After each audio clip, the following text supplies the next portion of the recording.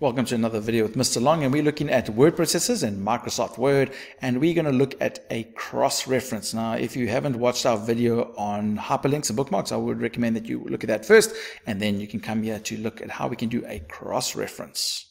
So here's a document that we've got with some headings and we've got some bookmarks and stuff like that in it. Cross-reference is almost like a specialized hyperlink where normally in a, in a document you might have also see this particular part which is related to whatever you're talking about. So let's say at this part we want to relate to something about the introduction. So you can click over here and we can say, okay, let's type in C and we want to say introduction, but we want to cross-reference to the introduction. So I'm going to come here to insert and there you can see is a cross-reference. So if I click, let's put a space there first, and then we're going to put in cross-reference, boom. And it will say me, or ask me, do we want to go to a heading Yes, I do. I want to go to the introduction.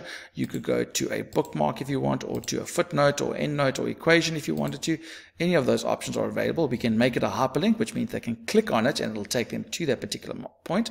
And we can insert what text. We want to have it just the page number or the paragraph number or whatever the bookmark text is. Um, my bookmark text is design issue, which is not necessarily what I want well, I wanted it actually to go to the heading.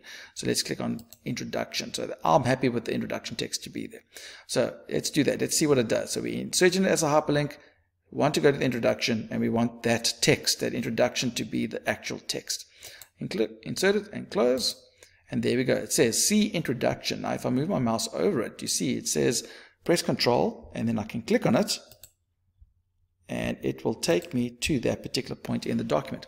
It doesn't go blue and underlined like our hyperlinks do. So it's almost like a hyperlink that doesn't go blue, but that is available to you so that you can do that. Let's do create another cross-reference. Let's go evaluation and we want, or let's go to the top and then go to a particular bookmark.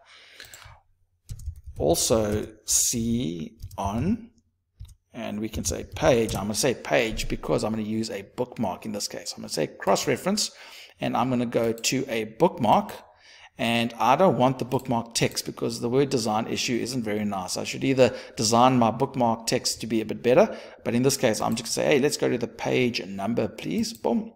And we can make it a hyperlink if we want, or we can take it off. Let's leave it on. And click on insert. And there we go. So it says also see page 5. So now if I click control and click on it, there we go. It goes to that particular bookmark. Now let's see what happens when I move this to a new page and then I click save.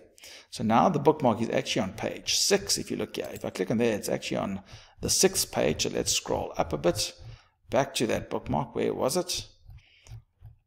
Also see, so there the cross-reference. So if I right-click on that cross-reference, we can update the field and now it updates it to go to the correct page. So there we go. So that's what I would recommend you do if you make changes. Make sure you go change your cross references. Okay, so there we go. That is exactly how to make a cross reference. For more links on other words on Microsoft Word, go to our YouTube channel, click on the subscribe button, go to the playlist, and you'll see other Word topics there as well. Please share us with your friends so we can help them too. And remember, don't do it the long way, do it the Mr. Long way.